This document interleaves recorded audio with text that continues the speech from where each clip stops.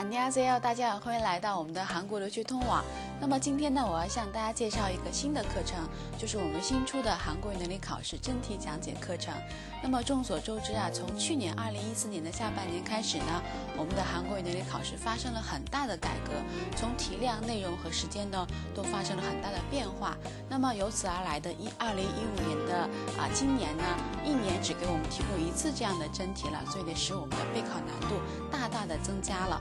那么也希望同学们通过以前的这个真题呢来进行复习啊。那么我们的韩国留学通网呢，把这个改革后的真题呢做了一个多层次、多领域、多次数的这样一个真题讲解课程。那么通过我们的课程和大家的反复学习呢，我相信在下次的考试当中呢，一定能取得很好的成绩，也可以提高我们的韩语水平。那么从今天开始就跟我一起来学习我们的真题讲解课程吧，我也期待大家的好成绩哦。